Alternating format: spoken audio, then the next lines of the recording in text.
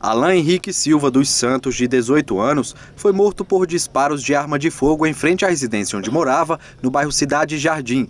De acordo com a mãe da vítima, ele trabalhava fazendo bolos com o pai e havia acabado de chegar do trabalho. Estava chegando, chegou do trabalho, tomou um banho, almoçou, pediu isqueiro e saiu pro lado de fora. Aí estava meu pai e o outro irmão dele lá no lado de fora. Estava dentro de casa. Escutou só os disparos? Só o disparo. Tava meu pai e meu outro menino aí. Não falou para mim que estava sendo ameaçado, nada. A polícia militar que esteve no local falou sobre a possível motivação do crime. As informações é que o, a vítima estaria conversando com alguns populares aqui na calçada, quando o elemento se aproximou é, e se dirigiu a ele e perguntou: Você não vai pagar meu dinheiro, não?